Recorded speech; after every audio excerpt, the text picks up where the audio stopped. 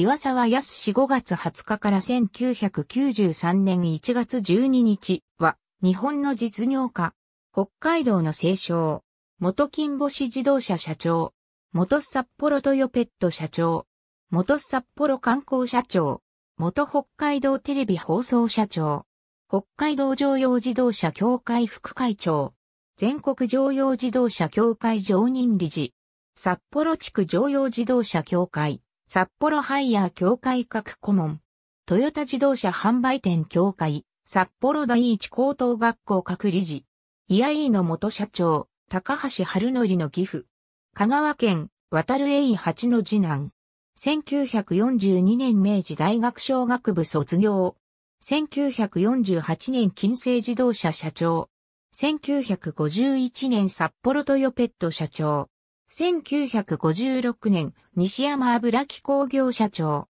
翌年8月、西山自動車工業会長。1958年、金星ハイヤー社長。北海道テレビ放送、札幌観光社長ばかりか、札幌大学の理事長、北海道経済連合会、商工会議所の最高幹部として君臨した。しかし1981年に加藤幸率いる、して集団、誠備えグループの株登記で財産を失った。破産時に、釧路とヨペット社長、工藤清が、岩沢康をかくまい生活を支えた。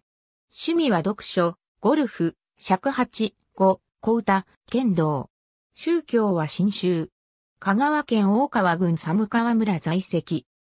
ABCDEFGHIJKLMN OPQRSTUVWX 第21版人事更新6条、227、広瀬隆、私物国家、日本の黒幕の系図98、118、336ページ、AB 広瀬隆、私物国家、日本の黒幕の系図108ページ、老朽化等により2014年12月で用途廃止し建て替え。新社屋は2016年完成。